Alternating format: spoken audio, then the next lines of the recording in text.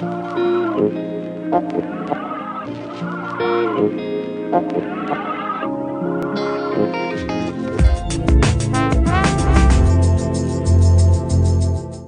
buenas, señoras y señores, bienvenidos. Bueno, el, ambiente no está para tirar cohetes ni nada de esto. Hoy tengo aquí al portavoz del Partido Popular, Juan Pagán. Juan, muchísimas gracias por venir. Siempre a vosotros, encantado de estar aquí. Mm, te veo ya más recuperado de las eh, indisposiciones que tuviste la semana pasada, que no pudiste venir y me mandaron a Cayula de Pablo. Sí, efectivamente, me encontraba un poco con un poco de gripe y y dolores de hueso y tal, y parecía, bueno, ahora como está la situación como está, pues hice un poquillo de, reposo ahí en la casa, pero bueno, afortunadamente me encuentro bien y, encantado de estar aquí con vosotros. Eh, bueno, pues la primera pregunta es el tema del día, ¿no? El tema del coronavirus este que, que de un tiempo acá estamos escuchando esta maldita palabra y que hoy, eh, pues parece ser, parece ser, hoy entre ellos el responsable del Partido Popular y, en nombre de tu partido que había estado conjuntamente con el resto de portavoces y el alcalde, incluso, incluso eh, había estado pues en esa reunión y dispuestos a, ofrecer la mano al alcalde. ¿Qué habéis tratado? Sí, efectivamente, ante la situación, ante la situación que hay, eh, sin duda ninguna, no cabe otra que estar más unidos que nunca e intentar pues lo que se puede aportar desde los grupos políticos, que creo que no es mucho lo que se puede aportar, lo único que se puede hacer es cumplir directrices de las autoridades sanitarias y, marcar un poco pues, el ritmo a, lo que hay que intentar hacer para que sea lo menos malo, lo menos contagioso o intentar prevenir. Yo le mandaba un comunicado al alcalde poniéndome a su disposición de forma incondicional pues, para cualquier actuación, cualquier cosa que haya que llevar a cabo, igual que yo lo han hecho los demás portavoces de los grupos municipales. Y bueno, pues fruto de eso, ayer nos convocó a una, a una junta de portavoces esta mañana a las 10 en el ayuntamiento. Posteriormente eh, le hemos acompañado al alcalde después de, de, pues, bueno, de actualizarnos de cómo está toda la situación en el municipio de Totana, que son las actuaciones a llevar y demás. Eh, pues eh, se ha dado una rueda de prensa para informar para todos los ciudadanos del municipio y donde le hemos acompañado y por supuesto nos tiene informados de cualquier actuación. Esto eh, cambia por momentos, ¿no? A las 10 cuando eh, nos reuníamos había una cosa, más tarde otra. Eh, después hemos visto un comunicado que se suspenden las clases para el lunes próximo, lo cual no nos queda otra nada que intentar llevar a rajatabla pues esas recomendaciones que hacen las autoridades sanitarias, que sin duda ninguna creo que tenemos una sanidad que luego tenemos problemas en listas de espera y demás, pero creo que son muy profesionales y que creo que están actuando con valentía y además con mucha responsabilidad y seguir al pie de la letra pues esas recomendaciones, ¿no? Ahí nos van a tener desde el grupo, desde el grupo municipal popular eh, trabajaremos de forma incondicional, codo con codo con el alcalde y su equipo de gobierno, como no puede ser de otra forma, por intentar, pues si en algo podemos aportar o podemos serle útiles, desde luego al, pueblo de Totana así lo vamos así lo vamos a hacer. Mm, por ser la, situación muy preocupante, no quiere decir bueno, que, tengamos que tener todas estas paranoias que, estamos sufriendo y que lo que hablábamos antes aquí, ¿no? A micrófono cerrado, sino que, bueno, mm, que de alguna forma, mm, siguiendo los consejos que dictan tanto la Administración como la, los profesionales de la sanidad, pues a lo mejor se puede hacer más llevadero. Sí, vamos, yo eh, no tengo duda que así a grosso modo cuando te dicen que se van a suspender las clases o que no se pueden eh, llevar los eventos eh, previos a la Semana Santa o cenas de hermandades o comidas, reuniones de colectivos y demás, pues te queda un poco, te queda un poco desubicado, pero creo que lo dicen con buen uso de razón eh, las personas que dan esas recomendaciones, eh, por supuesto en los sitios municipales, el ayuntamiento sí que eh, da la orden de, pues de, no reunirse o de no hacer eventos, pero en los demás sitios solamente se hacen recomendaciones, pero se hacen recomendaciones en el mejor de los, de los casos. Yo creo que tampoco debemos de coger una psicosis de no querer salir a la puerta, pero intentar pues tomar todas esas medidas que se puedan tomar y todas esas recomendaciones que dan eh, son fruto de otros experimentos que han ido bien en otros sitios y es lo que debemos de hacer. Debemos de seguir haciendo una vida normal, una vida eh, pensando en que es un virus muy contagioso, pero parece ser que se cura en un porcentaje muy alto, eh, se cura prácticamente con nada. Y, y, bueno, pero tenemos ese miedo porque no sabes si lo llevas tú, si te lo vas con uno que te tropiece en la calle. Lo que está claro es que cuando hay reuniones grandes, eh, eventos grandes, hay más posibilidades de contagio, ¿no? Y eso es lo que se quiere evitar. Hoy se ha saltado la alarma cuando ayer en dos colegios de Murcia había habido algún caso y no había clase. Hoy el Consejo de Gobierno de la región de Murcia se juntaba y valoraba y luego pues, he visto la noticia de que para el próximo lunes eh, se suspenden las clases tanto en colegios como institutos como en la universidad. Desagradable, habrá que organizarse, habrá que ver que sea transitorio, pero lo que tenemos que llegar a conseguir de que se paralice y que aunque pasemos una temporada eh, estricta y una temporada desagradable pues para los comercios, para la economía y para todo el conjunto de los ciudadanos, porque el que tiene un comercio le preocupa su comercio y su salud, y el que no tiene comercio le preocupa su salud y nos preocupa la economía y nos preocupa la situación. Pero es algo que ha venido, algo que no eh, depende de nosotros y lo único que nos queda es pues, llamar a la calma y a la tranquilidad y desde luego poner todos los medios que eh, cuanto más medios se pongan, más se podrá evitar. Y como bien digo, no puede uno decir yo no quiero ir allí porque me van a contagiar, ¿no?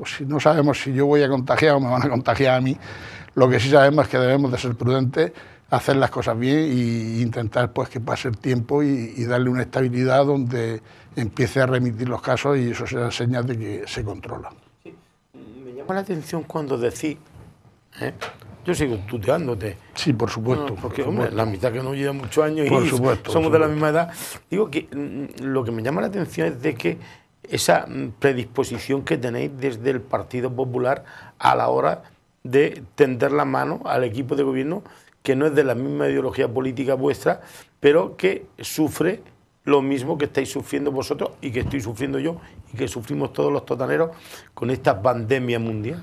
Claro, efectivamente, esta mañana... Eh, efectivamente, esta mañana en la reunión de portavoces que hemos mantenido creo que es una reunión cordial y una reunión como debe de ser. Los intereses generales están por encima de los intereses políticos y es cierto que el alcalde muestra su preocupación en tomar decisiones que si luego por algo no salen bien, pues le puedan repercutir.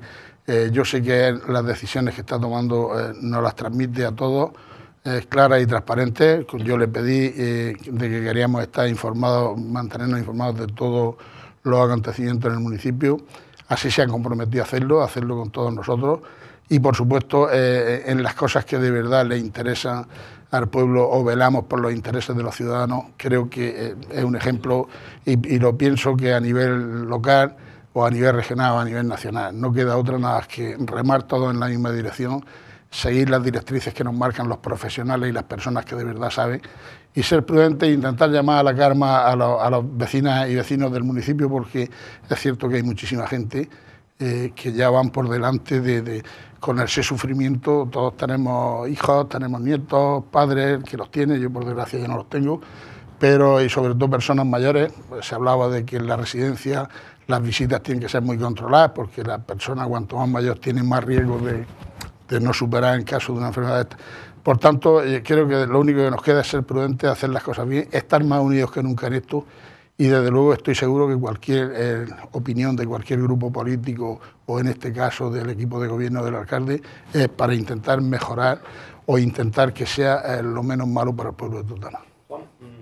¿O ha dado el alcalde cifras de la actual situación? ¿Le habéis pedido datos de cómo se encuentra Totana?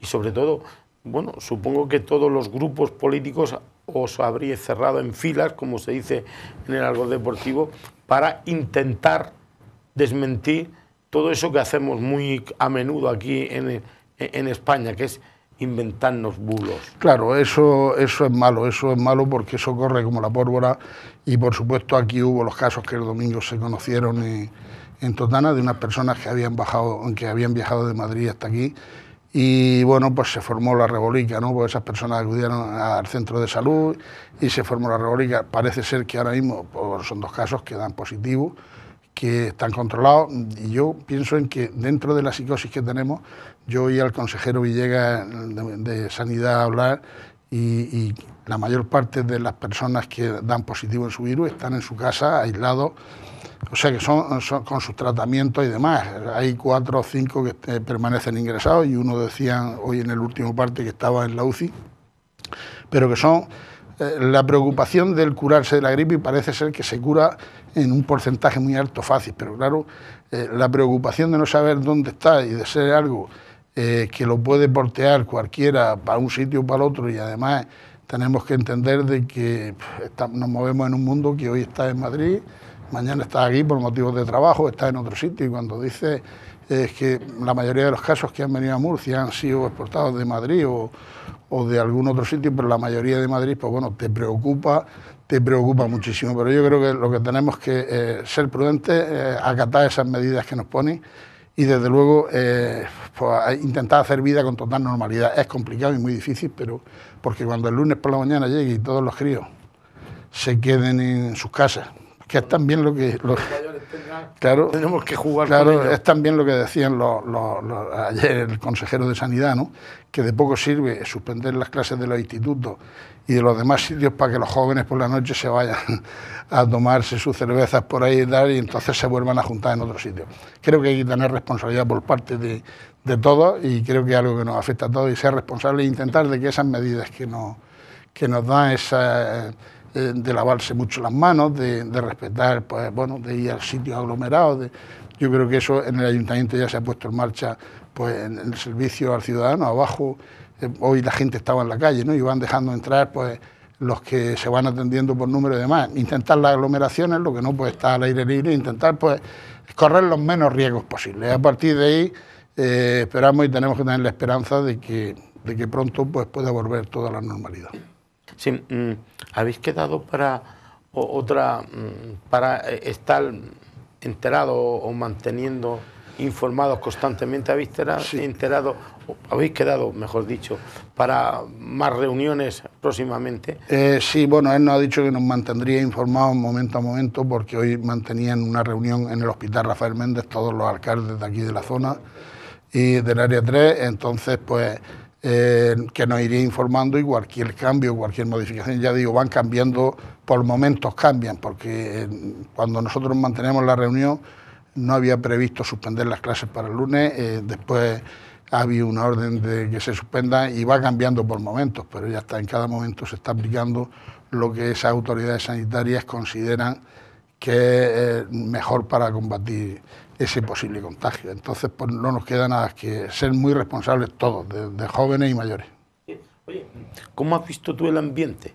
E, e, entre todos los grupos políticos que habéis juntado ahí, de una manera distinta, diferente al tema de los plenos, con más eh, preocupación, con más decisión, con más entrega, con más unión para que entre todos, bueno, porque si unir esfuerzos no es que se vaya a mejorar la situación, pero por lo menos eh, puede o podéis transmitir más tranquilidad a la ciudadanía? Bueno, el ambiente ha sido buenísimo, preocupante, muy preocupante por todos los portavoces, porque nos preocupa muchísimo, porque como bien digo, todos tenemos eh, familia, amigos y, y, vemos la preocupación del conjunto eh, del pueblo y creo que, que sí, yo vuelvo a decir que creo que en las cosas muy importantes o más importantes que le afectan a los vecinos del municipio, somos capaces la mayor parte de las veces en ponernos de acuerdo independientemente de colores políticos. Oye, mm, me ha dicho que hay prevista la semana que viene o, según cómo se vaya eh, dando los datos aquí en Totana más reuniones y para tomar más acuerdos que tenga que acatar la ciudadanía totanera? Sí, eh, conforme surjan los cambios, pues se va informando y, el compromiso del alcalde así nos reunirá tantas veces como, como sea necesario, siempre y cuando que haya que tomar pues cosas de, de calado, ¿no? que haya que tomar decisiones de calado, porque entre otras cosas, eh, para él su responsabilidad, pues si se siente arropado toma las decisiones mejor que si las toma solo en este caso.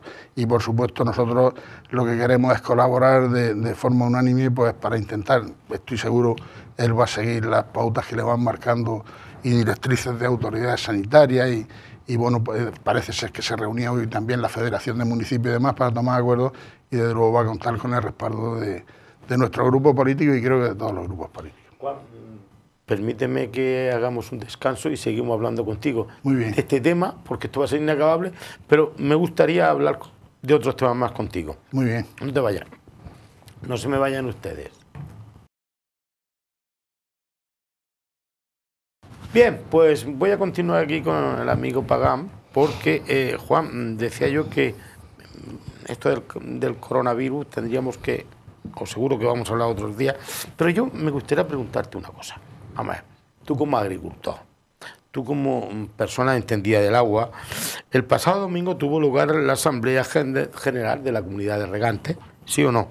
que, eh, donde, mm, bueno, pues destaca el desarrollo de la misma y, las medidas mm, adoptadas y votadas en ella.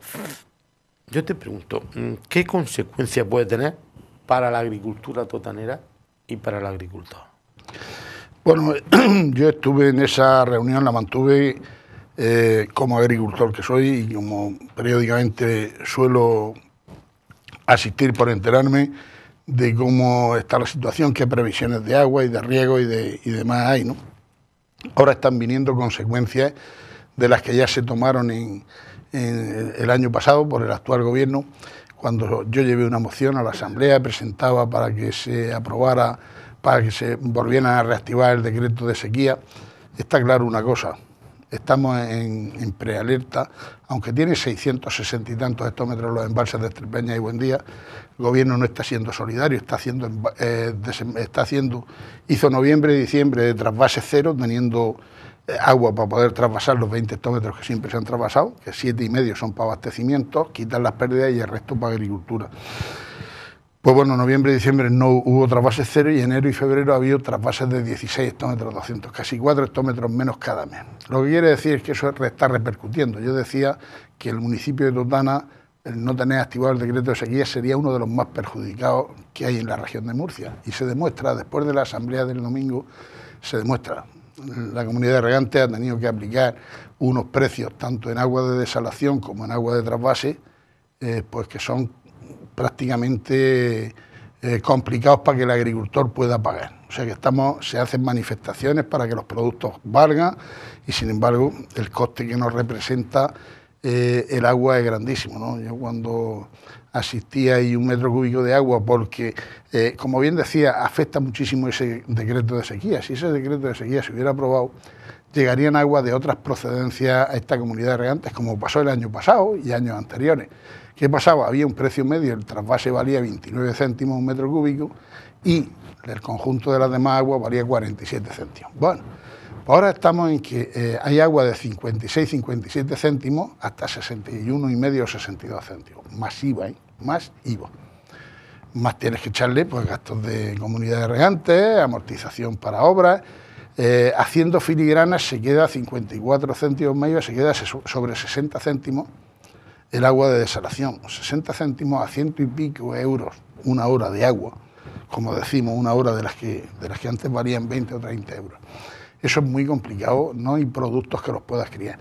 Y eso es consecuencia de lo que vine diciendo. Tenía que haberse mantenido ese decreto de sequía, habría agua de otras procedencias, como es agua de, pozos de decreto, de, por decreto de sequía, habría un posible abaratamiento del agua desalada.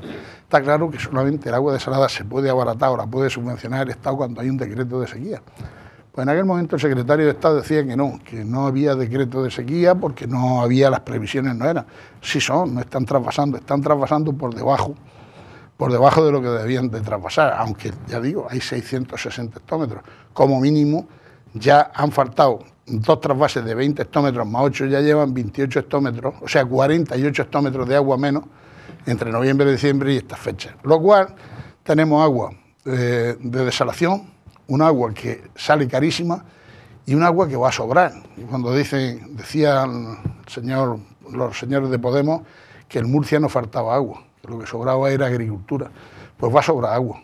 Agua, esos precios los agricultores no pueden cultivar. Hemos dicho, claro, va a faltar agricultura y va a sobrar agua porque no se va a poder comprar a esos precios. Todos sabemos que los precios de mercado de venta son los que son, pero si los gastos ya los incrementamos a palo fijo no se va a poder funcionar. Esa es la cuestión. Eh, creo que es una gestión, eh, una gestión que se está llevando a cabo porque si no había se contradicen solo. No nos dan repartos de agua del trasvase porque la situación en la cabecera no es buena.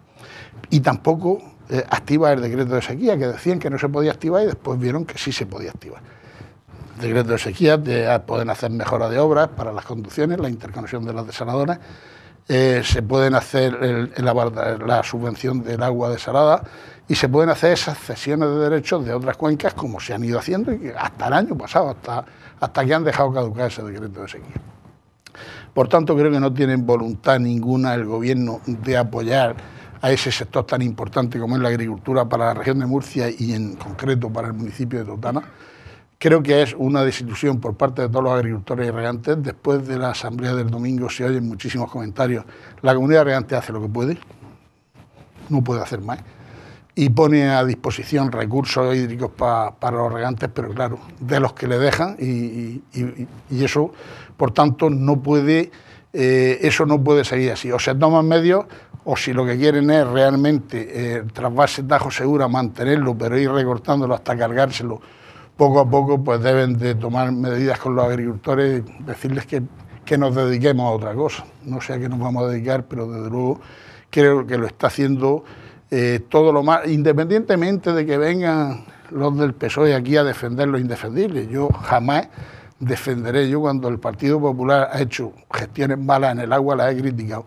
Cuando he tenido que ir a manifestarme al Ministerio de Madrid habiendo una ministra del Partido Popular, he ido, siendo agricultor y siendo diputado. Y por tanto, eh, lo que no se puede defender, yo que defienden los de Castilla-La Mancha defiendan tal, pero los, agricultores murcianos, o sea, los, los del PSOE murcianos tutaneros no deberían de defender la postura de su jefe, porque son letales para la región de Murcia y para Tutana.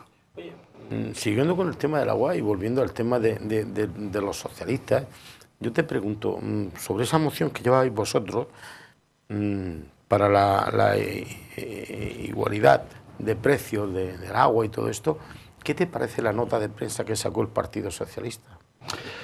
Bueno, eh, tengo, que entender, tengo que entender que, tengo que, entender que me, llevo, me llevo muy bien con el Grupo Socialista, además les tengo... Yo me llevo bien con todos los les tengo un gran aprecio a estos muchachos que hay ahí, estas muchachas son excelentes personas, pero eh, no tienen ni idea, o sea, hacen una nota de prensa, les dicen lanzar esto, yo ya eh, en esa moción que yo presenté, porque es algo injusto, o creo que desde quien nos pueda oír aquí en estas cámaras de televisión, eh, que de la misma fábrica de agua, digamos, en este caso de la misma desaladora de la planta de Águila, que haya comunidades de regantes que rieguen a 36 o 40 céntimos y la otra a 57 céntimos o 60, pues no se entiende siendo de lo mismo, porque eh, la moción que llevamos es que sea un precio igualitario, igual que el agua del trasvase vale lo mismo en las 80 comunidades de regantes que la distribuyen de Alicante, eh, Murcia y Almería, pues que el agua de desalación le cueste a todos los agricultores igual. Es del Estado y creo que todos somos hijos de Dios. ¿no?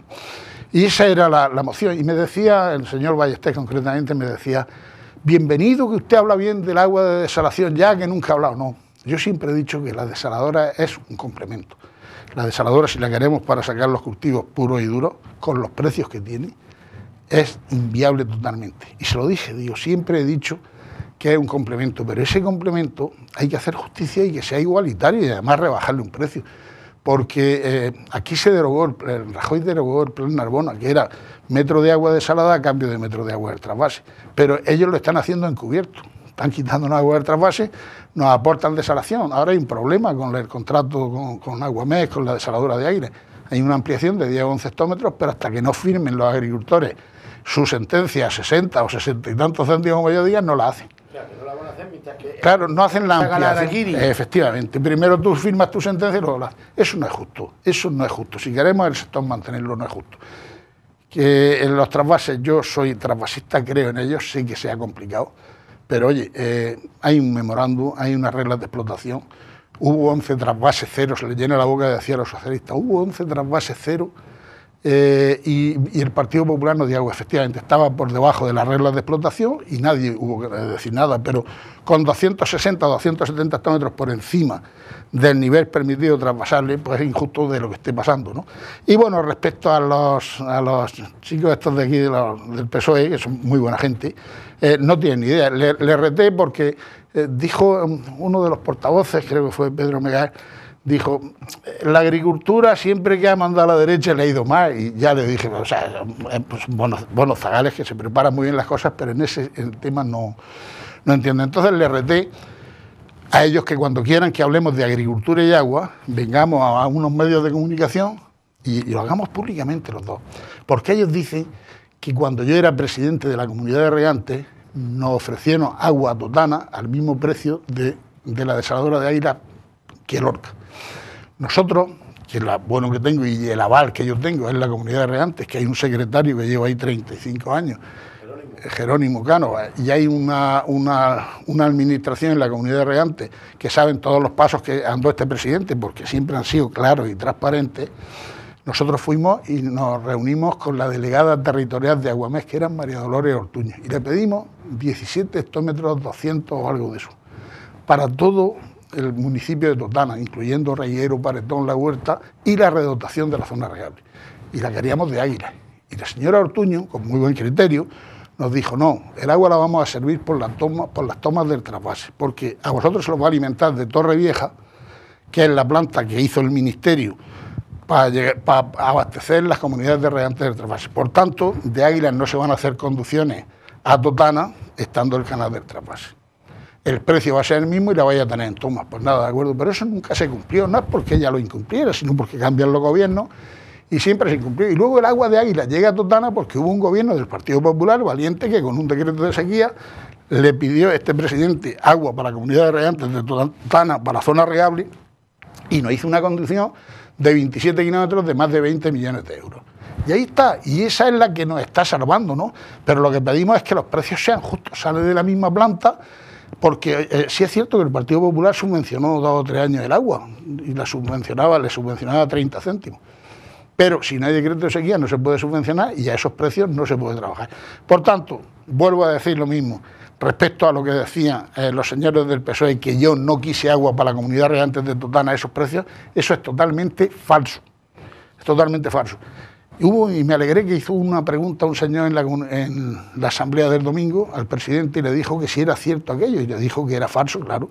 ese presidente estaba conmigo cuando yo era presidente y sabe que era totalmente falso. Los pasos que andamos, esos fueron los que se andó, se pidió agua en tiempo y forma, nos dijeron que era de la desaladora de Torrevieja. Total, que esa nota de prensa que hicieron diciendo que el portavoz del Partido Popular, Totana, no tiene agua a esos precios porque no quiso, eso es totalmente falso. Y le vuelvo a tender la mano y los reto cuando quieran delante de las cámaras y los medios de comunicación, hablamos de agricultura y agua, porque ese tema ellos no lo entienden porque, entre otras cosas, no saben lo que cuesta ir a comprar agua y sacar cultivo adelante. Este que le habla, sí. Lo sabe igual que el conjunto de 4 o 5 mil agricultores que hay en Totana. Ellos saben de, otras, de otros temas que yo no sé, pero el tema de agricultura y agua no saben lo que cuesta. Alegremente hacen una nota de prensa el Partido Socialista, pero eso es totalmente falso. Le invito a rebatirlo públicamente, cara a cara, igual que lo hice en el Pleno, a hacerlo delante de los medios de comunicación, donde todo el municipio nos pueda ver. Juan, mira, yo te, hago una pregunta, porque yo no lo sé, yo no sé si tú lo sabes. ¿Cómo está el plan general? Bueno, el plan general... Eh, en dos o tres minutos que nos queda. Nos tiene, voy, a, intentar ser breve, el plan general eh, a, nosotros, al Grupo Popular, nos tiene preocupadísimos, ¿no? Porque de ver yo, eh, me preocupa de ver que llevamos ya casi 10 meses de gobierno, de ver que, eh, bueno, que en el plan general no se ha movido un esparto, no se ha hecho nada absolutamente. Sí, me preocupa muchísimo las declaraciones que hizo este muchacho. Sé que es arquitecto, no sé, que tiene muchos conocimientos en ese tema, pero me, preocupó muchísimo. Coincidió, me gusta verlo, me gusta verlo cuando eh, lo, sigo. Sí, sí. Interesarme por la salud de los Y yo pues, me, me, intereso también por, por ver lo que se habla, ¿no? Y me preocupó muchísimo. Fue joven, muy preparado y tal, pero me preocupó muchísimo. Están reestructurando. Llevan un año reestructurando la concejalía hay un caos en urbanismo, cuesta mucho trabajo sacar licencias, el plan general no se ha movido en Esparto, se movió en una moción que presentamos nosotros, nos reunimos, se convocó a raíz de la moción que llevamos, porque lo único que queremos es que ese plan general salga adelante. Ese plan general que esperan los agricultores, los ganaderos y todos los ciudadanos, o, la mayor parte de los ciudadanos de que salga adelante. Llego a pensar, hay momentos en que llego a pensar que este equipo de gobierno no quieren que salga el plan general adelante. Llego a pensar y además me lo, quiero permitir y me, gustaría poder aclarar un poco porque eh, no sé si, les viene mejor, porque mira, eh, de vez en cuando hacen una rueda de prensa, ahora han venido una sentencia más del convenio urbanístico de la charca, de no sé qué. Esos convenios pequeños que hay hechos con arreglo a ley y a derecho, si el plan general se aprobara, esos ya no venían de sentencia. Ya hay varios de esos pequeños. Más luego todos los ciudadanos de a pie que ellos se hartan de decir nosotros estamos cumpliendo por lo que nos presentamos y no han votado la gente. Yo también apoyé el plan general. Yo he demostrado en mi grupo que queremos que salga el plan general. Llevemos una moción, ahora presentamos una moción para esta semana, o sea, para este próximo pleno, porque eh, le dimos poder al señor alcalde para que contratara el personal que le haga falta para poder eh, subsanar las deficiencias que de junio del 2018, que las mandaron al ayuntamiento, va a ser este junio dos años. Ese año anterior era socio de gobierno el alcalde del PSOE. El PSOE y el alcalde. Y decía que bueno, el PSOE lo tenía en un cajón. Ahora lleva casi un año de gobierno ahí, no Susana nada. Y, la verdad, era muy tajante cuando le preguntaba al concejal, pero bueno, eh, pues estuvo dando rodeas por, por todos sitios, ¿no? Pues sí, pues esto, pues lo otro. Y le dijo, bueno, en definitiva, ¿se va a aprobar el plan general o no? Es lo que quiero saber. Fue una pregunta, Bartolo, que me gustó muchísimo. Y me preocupa, me preocupa porque llevan 10 meses reestructurando urbanismo está colapsado, en el plan general no se ha hecho nada, cuenta el alcalde con el apoyo de, la mayor parte de los grupos políticos para subsanar las deficiencias y mandarlas a Murcia, y me preocupa que el concejal decía, bueno, independientemente de que Murcia tiene que aprobar, cuando Murcia tú le lleves a los tres años, porque se le pasa otro año en subsanar las deficiencias, si es que la susana, cuando le lleve, las normativas cada vez son más restrictivas y más prohibitivas y, cambian, y cuando le lleguen con las deficiencias de junio del 2018 en 2021, por ejemplo, pues eh, le pondrán pega. Entonces ya vale para venir aquí y decir, no, no, es que el gobierno de Fernando López Miras no aprueba el plan general porque castiga a Totana. La pelota está en el, tejado, de Totana ahora mismo. Hace dos años que mandaron unas deficiencias, no se han subsanado. Nosotros llevamos una moción para si sale aprobada eh, en pleno, de que contraten, si decían que le hacía falta un ingeniero de camino para solucionar esas deficiencias, que lo haga. Que él cuando tiene que contratar a alguien, cuando el alcalde tiene que contratar a alguien, lo contrata sin contar con nosotros. Que lo haga para algo que lo apoyamos los grupos y creo que es bueno para el conjunto de Tutana. Me preocupa muchísimo las palabras del concejal. Que no te preocupes, eh, en, tu, en tu tesis todos seguimos así y que, bueno, mm, lo que más nos preocupa ahora es el coronavirus, este dichoso, que vamos a ver si se soluciona y podemos decir aquello de hasta el día 31 de marzo y que el día 1 de abril digamos, mal sueño hemos tenido.